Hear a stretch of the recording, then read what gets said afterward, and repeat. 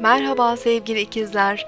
Ev, aile veya çocuklarınızla ilgili bazı ani masraflar gündeme gelebilir.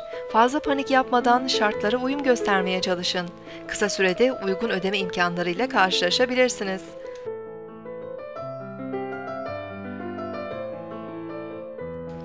Bugün 19 Temmuz 2014 Cumartesi, Satürn günündeyiz.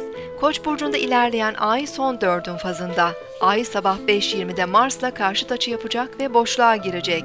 Güne hareketli, enerjik, huzursuz başlayabiliriz. Bugün Güneş ve Mars arasındaki kare açıda kesinleşiyor. Enerji ve motivasyonumuz yüksek olabilir. Ancak kaza ve sakarlıklara karşı da temkinli olmalıyız.